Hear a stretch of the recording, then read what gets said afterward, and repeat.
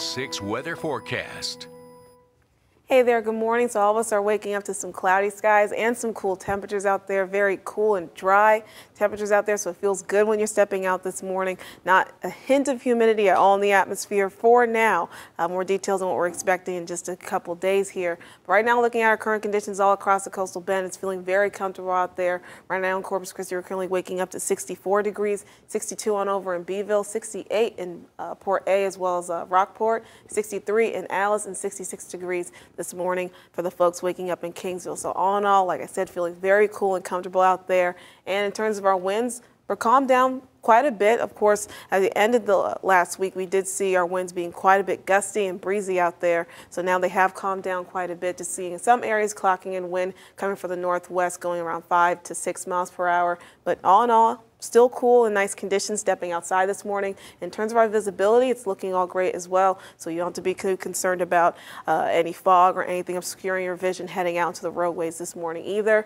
And in terms of our feel like temperatures, they are matching either spot on or maybe just one degree off at the most in terms of our the difference from our feel like temperatures to our air temperatures. So that of course, explains the drier air that we're having in the atmosphere, just helping us out in terms of keeping us pretty cool and keeping us having these pretty comfortable temperatures. So waking up for our feel like temperature here in Corpus Christi, we're also sitting at 64, matching with our air temperature this morning at 64 degrees in Robstown, Portland, as well as Alice. You guys are all doing the same there as well, currently matching your feel like temperatures there with your air temperature to 64 degrees. But uh, the drier air is going to come to end for a moment here. We're going to be expecting some deep tropical moisture from the Pacific coming into our area. And as a result of some remnants of the outer bands of Tropical Storm Lidia that's going to be impacting uh, west central Mexico and those outer bands as it starts to flow through, that area is going to come to us here in South Texas in the coastal bend, which is going to give us plenty of moisture all across the area.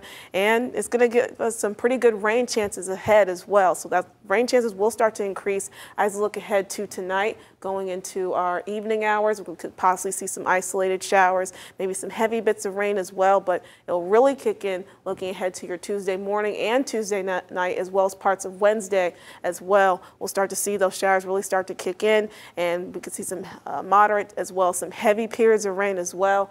Uh, but it will start to taper off as we get into the latter days of this week.